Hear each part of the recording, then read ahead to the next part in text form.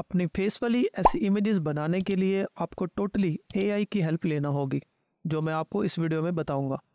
मैं जनरली ऐसी वीडियोस नहीं बनाता बट मेरे बहुत से सब्सक्राइबर्स के सोशल मीडिया पेजेस हैं so that's why it might be helpful so इस तरह की इमेज क्रिएट करने एंड देन उस पर अपना फेस अप्लाई करने के लिए हमें टोटली दो वेबसाइट्स की मदद लेना होगी।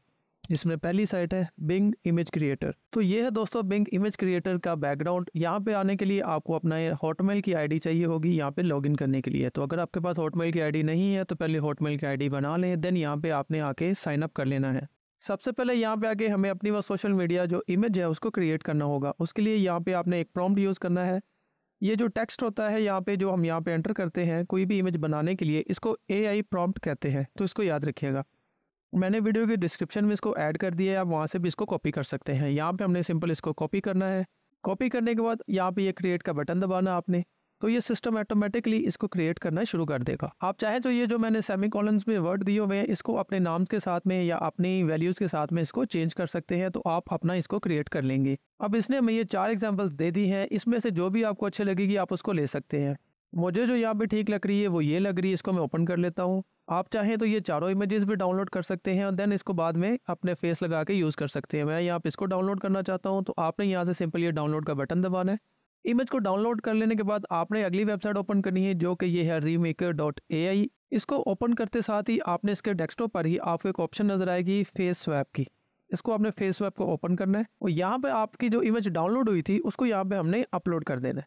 जस्ट इमेज पे क्लिक करें और इसको ओपन कर लें। इसके बाद ये साथ वाले सेक्शन में आपने अपनी इमेज या वो इमेज जिसको आप इस इमेज के साथ में स्वैप करना चाहते हैं या जिसका फेस यहाँ पे लगाना चाहते हैं, उसको अपलोड करना है।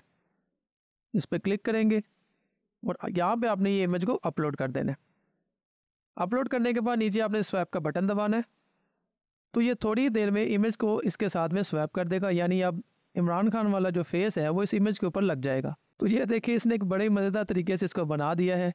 आप यहाँ पर एक से ज़्यादा इमेजेस भी ट्राई कर सकते हैं कि कौन सा फेस यहाँ पे ज़्यादा अच्छा लग रहा है उसको आप यूज़ कीजिएगा।